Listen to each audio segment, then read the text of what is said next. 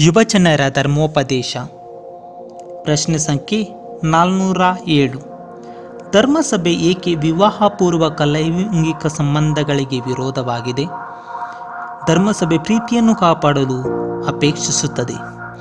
ಒಬ್ಬನು ತನ್ನ ವ್ಯಕ್ತಿತ್ವಕ್ಕಿಂತ ಮಿಗಿಲಾದ ಕೊಡುಗೆಯನ್ನು ಕೊಡಲು ಅಸಕ್ತನು ನಾನು ನಿನ್ನನ್ನು ಪ್ರೀತಿಸುತ್ತೇನೆ ಎಂಬ ವಾಕ್ಯದ ಅರ್ಥವಿದು.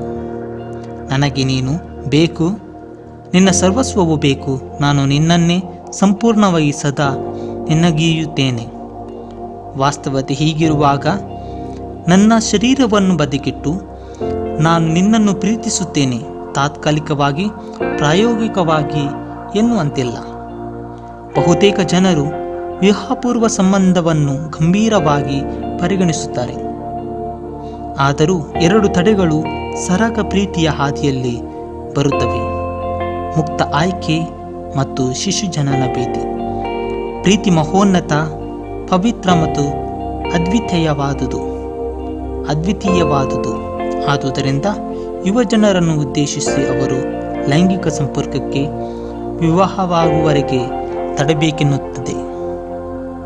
ವಿವಾಹಪೂರ್ವ ಸಂಬಂಧ ಇಟ್ಟುಕೊಂಡಿದ್ದರೆ, ಲೈಂಗಿಕತೆಯಲ್ಲಿ ಜೀವಿಸುವುದಾದರೆ, ಅವನು ಹೇಗೆ ಒಬ್ಬ ಯುವ ಕ್ರೈಸ್ತನಾಗಿರಬಹುದು.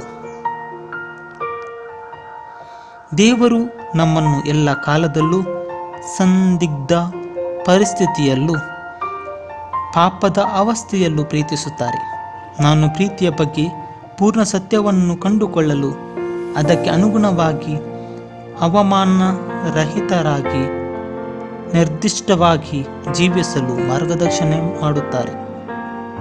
ಒಬ್ಬ ಯಾಚಕರೊಡನೆ ಅಥವಾ ನಂಬಿಕಸ್ಥರೊಡನೆ ಸಂವಾದಿಸಿ ಯುವ ಕ್ರೈಸ್ತರು ಪ್ರೀತಿ ಜೀವನವನ್ನು ಸತ್ಯನಿಷ್ಠೆಯಿಂದ ಜೀವಿಸಬಹುದು. ಪ್ರತಿಯೊಬ್ಬರ ಬಾಳು ಪಯಣ. ಅದರಲ್ಲಿ ಇಂತಹ ತೊಂದರೆ ತೊಡಕುಗಳನ್ನು ಎದುರಿಸಬೇಕಾದರೂ ದೇವರ ನೆರವಿನಿಂದ ಪುನಃ ಹೊಸ ಹೆಜ್ಜೆಯನ್ನಿಡಬಹುದು